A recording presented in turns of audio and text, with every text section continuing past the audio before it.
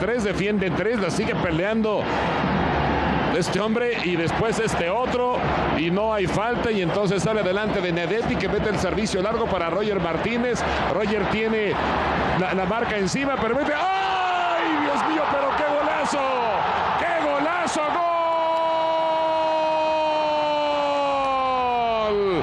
Roger Martínez, por si quedaban dudas, por si hay que pelear el puesto, por si América tiene ya que definir estos octavos de final de la Copa, nos regala un poema mejor que el del mío, sí.